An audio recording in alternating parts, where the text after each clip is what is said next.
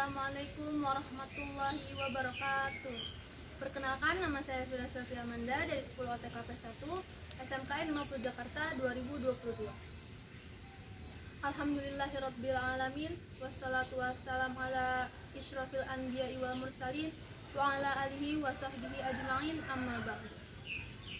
Di kesempatan kali ini izinkan saya menyampaikan kultum yang bertema obat gelisah hati dan galau.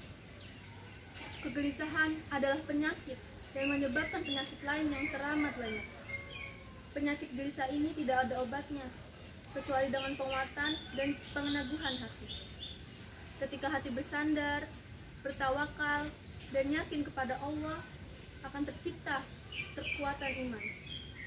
Sehingga hatinya tidak akan dikalahkan oleh kegelisahan ataupun dikuasai oleh pikiran-pikiran negatif yang berdampak buruk terhadap banyak orang.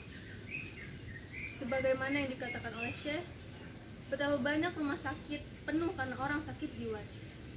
Tidak ada sebab lain kecuali kegelisahan menyebabnya.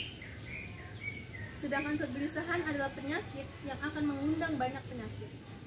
Jadi teman-teman semua, jika kita sedang merasa gelisah atau galau, maka bertak galau, maka bertakwakallah kepada Allah Subhanahu wa taala.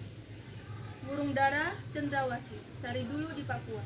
Cukup sekian, sekian dan terima kasih. Semoga bermanfaat untuk semua. Wassalamualaikum warahmatullahi wabarakatuh.